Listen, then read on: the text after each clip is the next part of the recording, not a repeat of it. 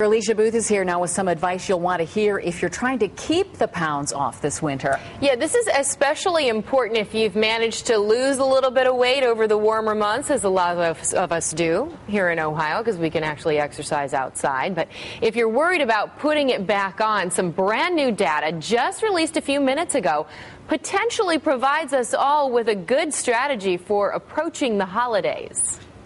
The season of eating is here, and just in time for the official kickoff, Thanksgiving, there's a new study to help us find a way to keep the weight we lost over the summer from coming back. I thought it was a great study. Registered dietitian Julia Zumpano says the study, published in the New England Journal of Medicine, falls right in line with the advice she already gives many of her patients at the Cleveland Clinic.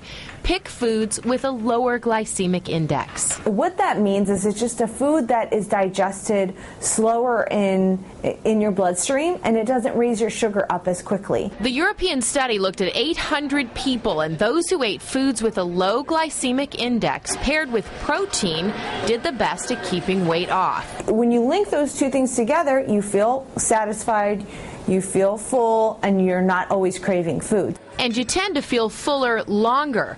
The glycemic index is closely linked to carbs, so chances are if it's high in carbs, it's got a high GI. Potatoes are one of the highest glycemic index foods.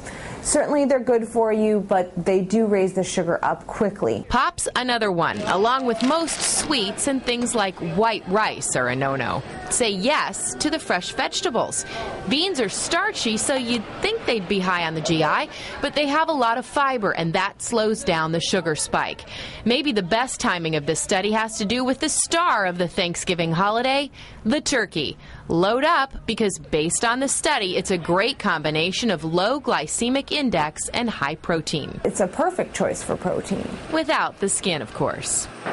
Of course. That combination of foods may sound awfully familiar to you. It's a lot like the South Beach diet, though the authors of this study say they don't officially endorse any commercial diets. Another thing to keep in mind here is that this study was done on Europeans, about 800 of them. And, you know, their eating habits and their activity levels can be a little bit different from ours, but I think the advice is pretty sound. And all we can add to this on the day before Thanksgiving is good luck. Yeah, yeah you know what? But I agree with the dietitian I spoke with today you know what? It's Thanksgiving. Enjoy yourself and then worry about counting carbs and calories tomorrow.